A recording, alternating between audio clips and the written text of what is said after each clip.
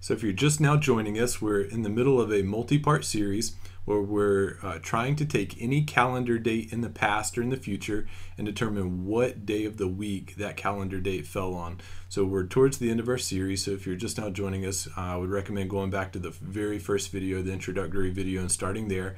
Um, now we know the algorithm.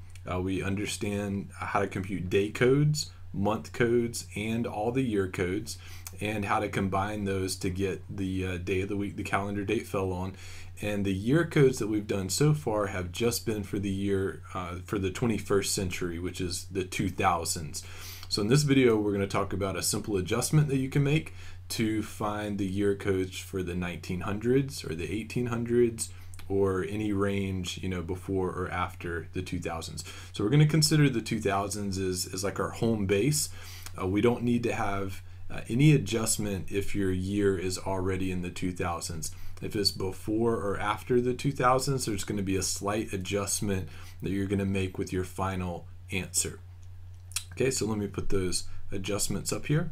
So if you're in the 1900s, let's say somebody gives you a date, um, April 5th, 1950. Well, you wouldn't do April 5th, 1950. You would think of it in your mind uh, just you, you wouldn't tell anybody this, but you would think April 5th, 2050. You would do the same year, but in the 2000s. You would figure out what day of the week that is, and then to that final um, code that you would get, you would add one. So if, if you know you do a calendar date and it falls on a Tuesday, but in, in the 1900s it would fall on a Wednesday because you would add one. If it's in the 1800s, you take that same year as if it were in the 2000s and add three. 1700s, you add five. The 1600s is back around to zero again, and you actually wouldn't need to make any adjustment. It would be the same day of the week as the same calendar date in the 2000s. Um, there's also adjustments for the um, 22nd century, 23rd, and 24th century, um, the 2100s, the 2200s, and the 2300 calendar dates, and that's plus five, plus three, and plus one, respectively. So there's a pattern to it. Um, so you, as long as you can remember the adjustment, then you can do pretty much all these. All right, and uh, and that's that's literally it. So let's um let's do two full examples, and then I, I do have one last closing remark. Um, but let, let's try to do these two full, full-fledged examples here. So if you remember the algorithm, we're going to find a month code, a day code, and a year code, and we're going to add these together to get our final answer. The month code and the day codes are pretty easy. Um, it's the year codes that I find most challenging. Um, so let's let's do the year code first. So when I see 1919, I, I'm going to mentally think of this as to, just to myself as 2019. So we need to know how to compute that year code, which is what we covered in the last video. Um, for this one, I'm not going to go into all the details. I'm going to assume you already know them.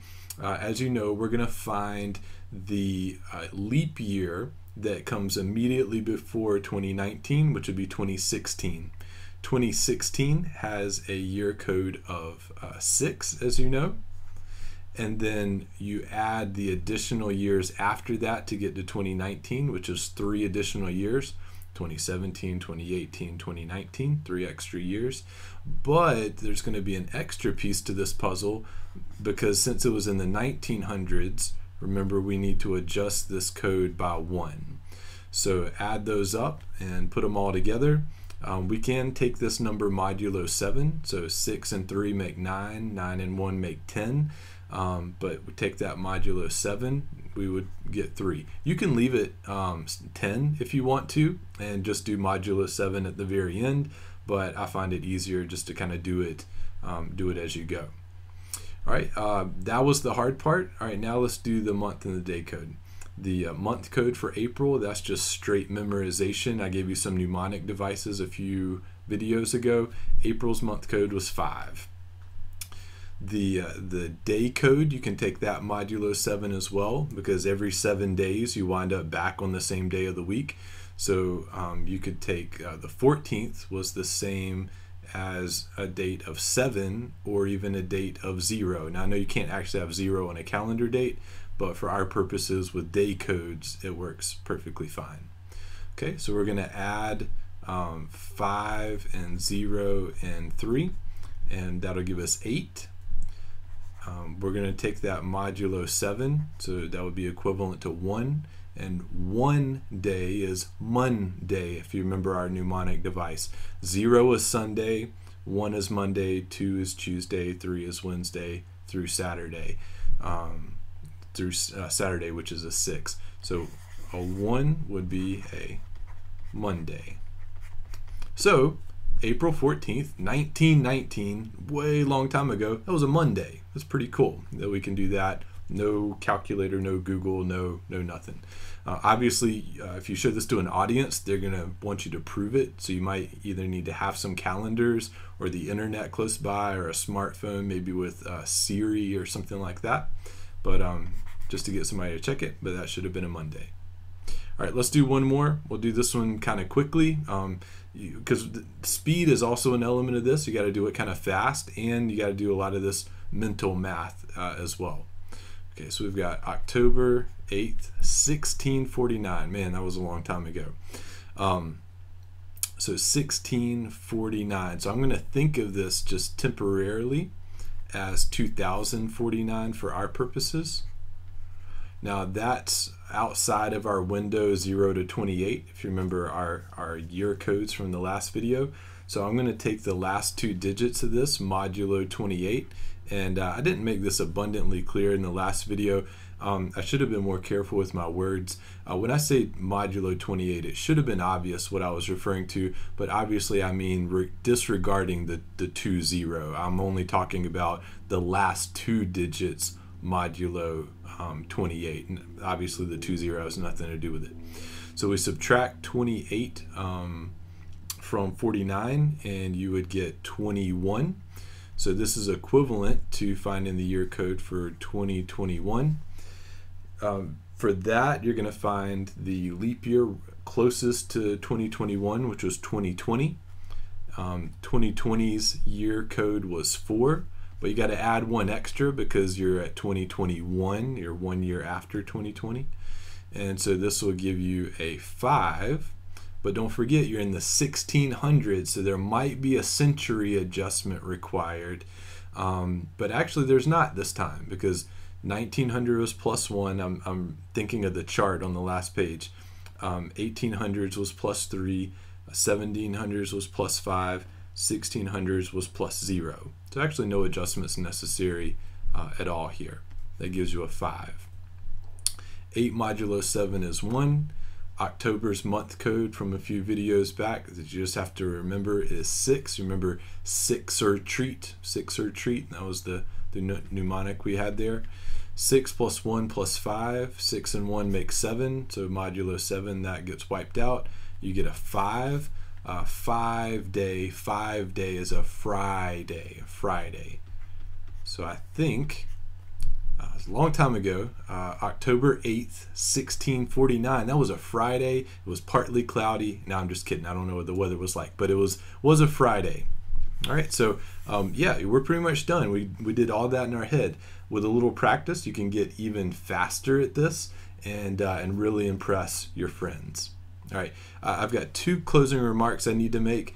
Um, one, I, I, was thinking about this. I just didn't have a good video to include this, and so I, it wound up slipping my mind completely.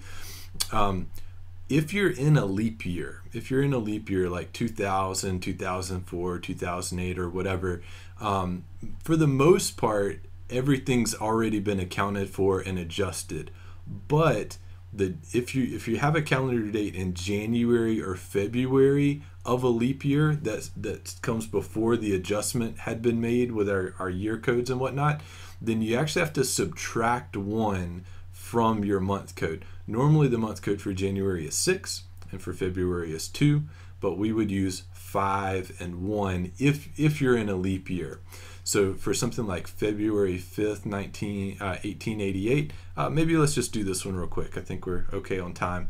Um, Normally, the, uh, or by the way, this is a leap year. Normally, the month code for February is 2, but since we're in a leap year and it's one of the early months in a leap year, we've got actually got to adjust that to a 1. 5 is um, already less than 7, so no need to take modulo 7. it'll just be 5 again. Um, 1888, that's going to be a little aggravating to do, but just, just bear with me. Uh, we would consider this as 2088 for computational purposes. Then we'll just adjust it by a few years. 2088, we, we have to take the 88 part modulo uh, 28 to drop it back down in our uh, better range. So we'll take out 84, which is a, a multiple of um, 28. So we'll be at 2004. 2004's year code is 5. And then we just have a little adjustment because of the century. Um, the 1800s, we're going to add 3 for that. Okay, if you remember the chart at the beginning of this video. So 1 plus 5 plus 8. 1 plus 5 plus 8. It gives you 14, if my math's right. Yeah, 14 modulo 7 would be 0. So February 5th, 1888 would have been a Sunday. Sunday. Right. So um, yeah, you can get pretty fast at this if uh, if you practice a little bit. So I uh, apologize. It I, I couldn't put it in the month uh, code video because we hadn't talked about leap years yet, but it slipped my mind to talk about it in the year code video because it's discussing months. So anyway, sorry about that. Um, just a little adjustment you need to make.